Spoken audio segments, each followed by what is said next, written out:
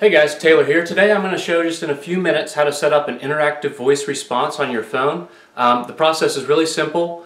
If you don't know what one, an interactive voice response or IVR, they're also known as auto attendants. There's a few different names for them.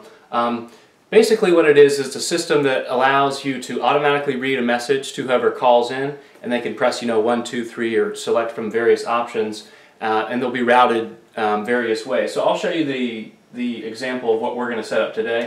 Um, it's a really simple, really simple IVR. Just ask them. Well, here you can listen Hello and thanks for calling. Please press one for sales. Press two for tech support. So we're going to press one, and this system is set up so if you press one, it'll actually dial my phone. If you press two, it'll dial a different phone. Um, but so I want it to dial my phone. So now it'll connect to my phone. We should hear it ring here. So there we go. Hello. So that's what we're going to be setting up today. We're going to go to the computer. It'll just take a few minutes to do it.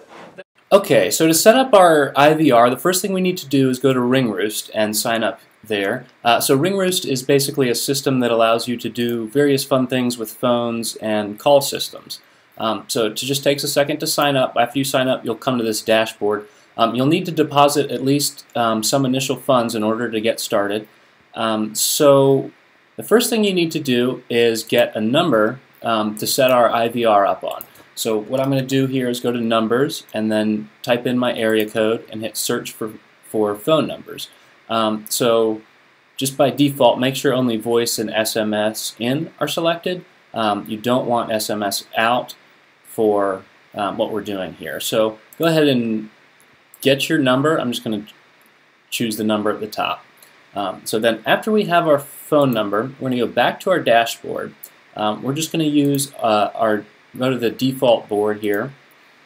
And here is the Ringroost's basically call system builder.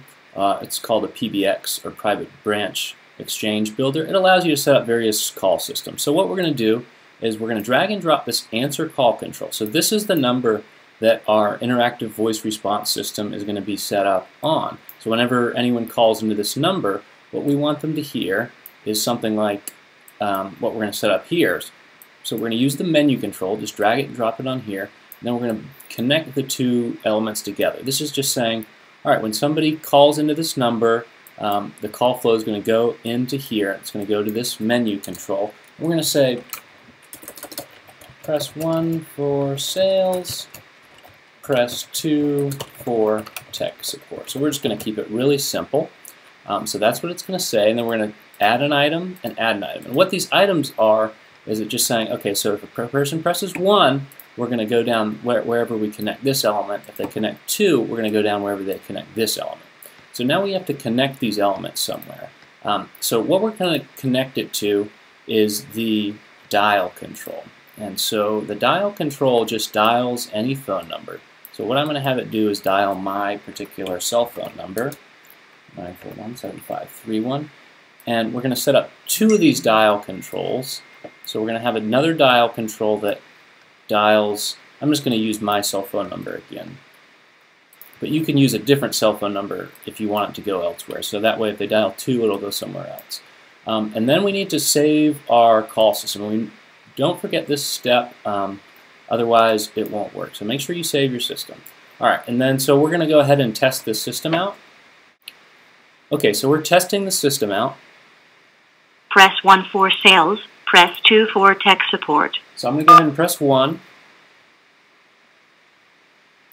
And it should now come through and dial my cell phone number. So it's making the call.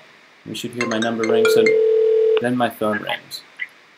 Alright, so that's the basics of how to set up an interactive voice response. The whole process should only take a few minutes. Thanks guys. Bye for now.